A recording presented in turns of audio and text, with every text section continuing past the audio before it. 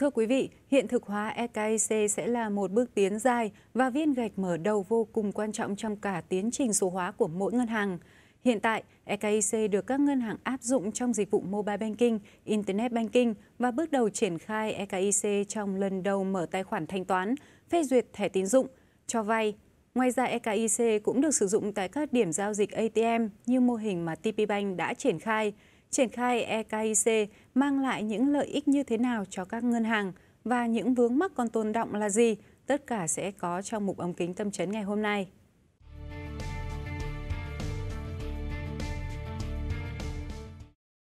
Đầu tháng 7 2020, các ngân hàng áp dụng tính năng này và mang lại những thành quả tăng trưởng đáng ghi nhận, đặc biệt là ở lượt khách hàng đăng ký và tỷ lệ giao dịch. Tính đến nay, nhiều ngân hàng đã và đang áp dụng eKYC có thể kể đến như BIDV, MB Bank, TB Bank, VB Bank, OCB.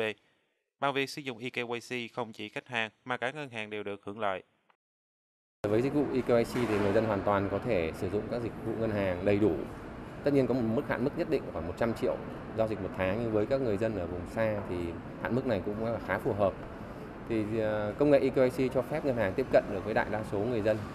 à, trên cả nước và người dân không cần phải ra quầy để thực hiện mở tài khoản cũng như đăng ký các dịch vụ ngân hàng cao cấp. Ví dụ OCB hiện không có bất kỳ chi nhánh nào ở một khu vực nào đó, nhưng hiện tại chúng tôi có sản phẩm và dịch vụ. Chúng tôi có thể thu hút khách hàng ở địa điểm đó, bởi vì giờ đây tại nhà, họ thực sự có thể mở tài khoản ngân hàng và cuối cùng, đối với tất cả các ngân hàng sẽ vô cùng tiết kiệm chi phí. Chúng tôi không cần có nhiều người tại các chi nhánh để gặp gỡ khách hàng và thực hiện KYC nữa. Vì vậy, tôi nghĩ rằng đây là những lợi ích đáng kể từ sự thuận tiện của khách hàng, mang tới nhiều cơ hội hơn cho các ngân hàng nhỏ và tiết kiệm chi phí cho tất cả các ngân hàng. Được xem như cửa ngõ giúp triển khai hệ thống ngân hàng số, eKYC là giải pháp nhận diện khách hàng một cách toàn diện, liên tục giữa người dùng với các tổ chức tài chính ngân hàng. Thay vì phải gặp mặt trực tiếp, eKYC sẽ định danh khách hàng từ xa bằng phương thức điện tử dựa trên công nghệ như xác thực sinh trắc học, nhận diện khách hàng qua AI, đối chiếu thông tin cá nhân được liên thông với cơ sở dữ liệu tập trung, định danh khách hàng. Thì hiện nay với ờ, EKIC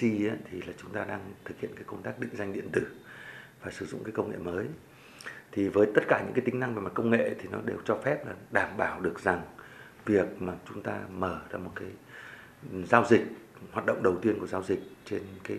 nghiệp vụ chung của rất nhiều nghiệp vụ của ngân hàng bằng công nghệ, thì như vậy nó sẽ trở thành là một cái mà xu hướng tất yếu để mà tăng cái năng hiệu năng điều hành sản xuất dịch dịch vụ của ngân hàng và một trong những cái bước của ngân hàng số. Còn có lợi ích lớn hơn nữa là giúp cho ngành ngân hàng là định vị rất rõ ràng về chân dung của từng khách hàng kể cả là tổ chức và cá nhân. Cho nên nó, nó giúp cho cái hệ thống vận hành của ngành ngân hàng trong việc uh, thẩm định kiểm tra khách hàng rất là tốt rất là nhanh rất là chính xác và rất là công bằng. Việc phát triển ngân hàng số không chỉ là xu hướng mà đã trở thành điều tất yếu trong thời đại 4.0. Để không bị lùi lại phía sau, các ngân hàng buộc phải nhập cuộc vào đường đua công nghệ, đầu tư mạnh cho việc chuyển đổi nền tảng số hóa.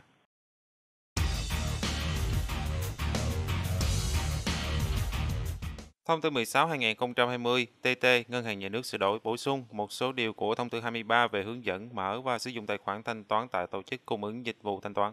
Trong đó có sửa đổi đáng chú ý về quy định rõ ràng về việc mở tài khoản thanh toán của cá nhân tại các tổ chức tín dụng bằng phương thức eKYC là hành lang pháp lý vô cùng quan trọng cho các ngân hàng. Tuy nhiên, theo chia sẻ từ đại diện một ngân hàng, mặc dù điều này là một bước tiến lớn trong việc hiện thực hóa eKYC, nhưng vẫn rất cần có thêm sự bổ sung, hướng dẫn cụ thể. Đó chưa phải là khung pháp lý tiêu chuẩn cho công nghệ eKYC và ngân hàng nhà nước cần phát triển thêm. Nhưng quan trọng là tôi tin rằng chúng ta nên nhìn vào những gì Ấn Độ đã làm. Ở Ấn Độ với cơ sở hạ tầng AAD, HAR, eKYC trở nên rất dễ dàng vì có cơ sở dữ liệu trung tâm của toàn bộ công dân. Và tôi hy vọng rằng tại Việt Nam, chúng ta cũng sẽ có cơ sở dữ liệu tập trung cấp quốc gia để chúng tôi có thể chắc chắn 100% rằng số chứng minh nhân dân, căn cứ công dân và chủ sở hữu là chính xác. Vì vậy, chúng ta vẫn có rất nhiều việc cần làm để xây dựng hoàn chỉnh khung pháp lý cho công nghệ eKYC. Bên cạnh đó, vấn đề về bảo mật thông tin khách hàng. Về phạm vi, quyền truy cập cơ sở dữ liệu quốc gia về định danh cá nhân để vừa đảm bảo xác thực chính xác, vừa bảo mật thông tin khách hàng cũng cần phải được quy định cụ thể rõ ràng. Vì điều này ảnh hưởng đến niềm tin, sự an toàn của khách hàng và an ninh ngân hàng. Hiện nay thì chúng ta chưa có hẳn một cái luật định về quyền riêng tư cá nhân. Như vậy là vô hình chung sự hạn chế của công nghệ nó lại bảo vệ cho tôi cái quyền riêng tư nó bảo vệ cho tôi cái quyền riêng tư nhưng bây giờ tất cả mọi thứ đưa lên trên không gian số rồi thì lúc bây giờ nó sẽ dẫn đến một cái câu chuyện là sau này về mặt bảo mật về quyền riêng tư của tôi nó sẽ như thế nào? Đấy nó phải trở thành thành luật luật về quyền riêng tư. Cái này thì về mặt dự án chuyển đổi số nó không chỉ đơn thuần trong của ngân hàng đâu mà nó có thể có rất là nhiều các cái ứng dụng khác xung quanh những câu chuyện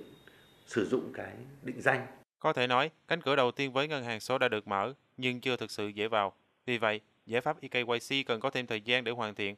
và nên được thực hiện nghiêm túc nhằm tăng độ tin cậy, bảo mật thông tin khách hàng cũng như phòng chống những rủi ro mang tính sống còn của các ngân hàng.